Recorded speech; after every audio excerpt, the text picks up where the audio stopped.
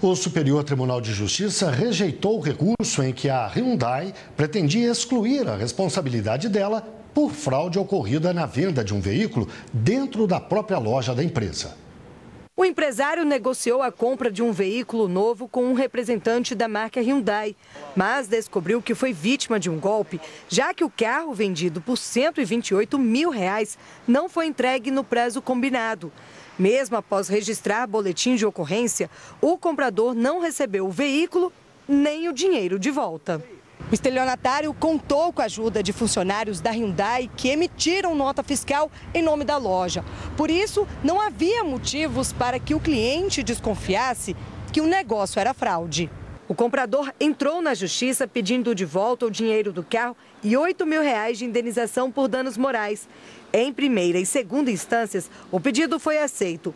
A empresa recorreu ao STJ, alegando que a culpa era exclusiva do comprador, porque ele deu um cheque em nome de um particular e não da concessionária.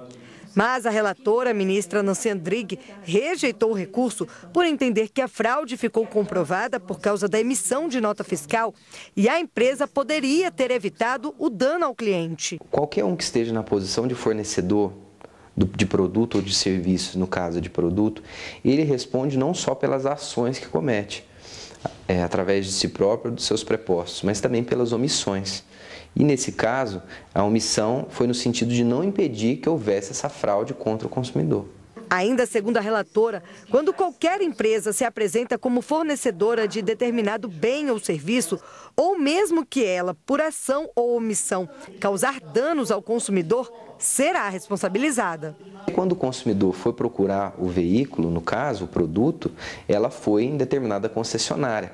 E a aparência do serviço prestado foi é, de como se ela fosse prestada pela concessionária e não por um estelionatário, enfim.